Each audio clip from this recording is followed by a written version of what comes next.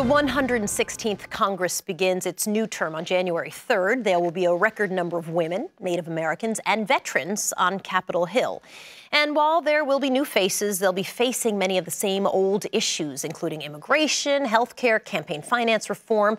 And with Democrats in control of the House, they say expect more oversight of the Trump administration.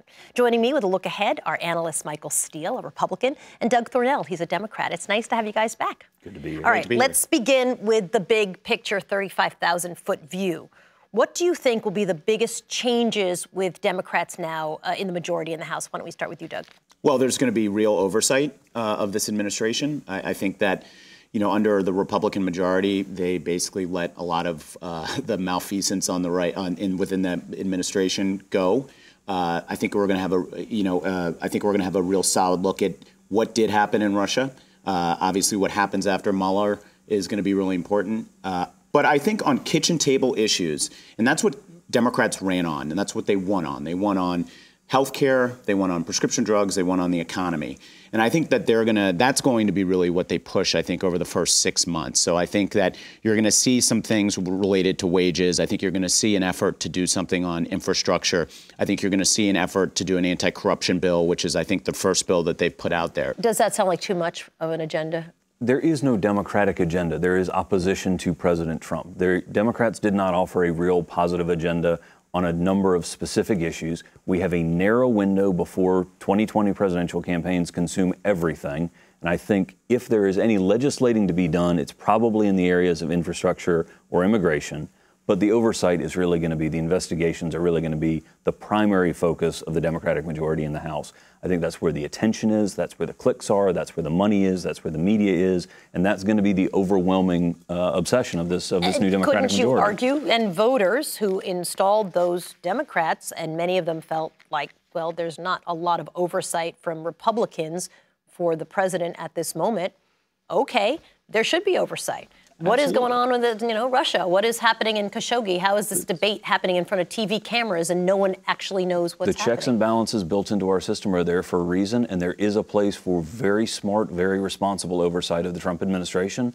I worry that many of the Democrats that were elected in this cycle are going to overreach and get into places that, that may not be legitimate areas of oversight. A lot of the Democrats who did win won in um, you know swing districts or, or slightly red districts. They're more moderate.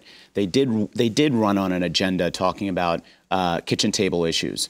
So they it, it, this this idea that they are going to that they are rushing in to just basically do oversight. Most of the majority, the majority makers, the 40 Democrats who won those those seats they have they're coming to Washington to try to get a lot of things done for their districts. Let's talk about Nancy Pelosi for a moment. Sure. Um, she emerged victorious, and the fact that she's doing photo ops with uh, Alexandra Ocasio Cortez who's very progressive, and also some of her more moderate members, all at the same time, is sort of a big giant win for Nancy Pelosi. What does that mean for the Democrats? Are they in this disarray where they don't agree on the very basics? Well, I think because Nancy Pelosi is positioned to be the Speaker of the House again, there's likely not going to be a lot of disarray. Mike and I were on the Hill at the same time. One thing that Nancy Pelosi does understand is how to run a caucus. Uh, she's also a prolific fundraiser, and she knows all the levers of power to pull in, in Congress. Look, this is an area of bipartisan agreement. Both Republicans and Democrats are thrilled that Nancy Pelosi will be the next Speaker of the House